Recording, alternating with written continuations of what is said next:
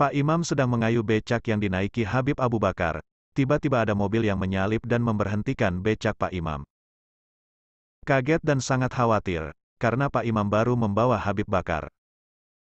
Kemudian ada lima orang bersorban dan bergamis turun dari mobil. Mereka mengucapkan salam dan mencium tangan Habib Bakar. Salah satu dari rombongan itu mengeluarkan amplop tebal dan memberikannya kepada Pak Imam. Ragu dan kaget, Pak Imam merasa bingung seolah sedang di alam mimpi. Pak, terimalah amplop ini. Jangan ragu, ini rezeki Bapak. Bapak sangat membutuhkannya. Tegasnya. Habib Bakar seketika turun dari becak itu dan memberikan isyarat kepada Pak Imam agar menerima amplop itu.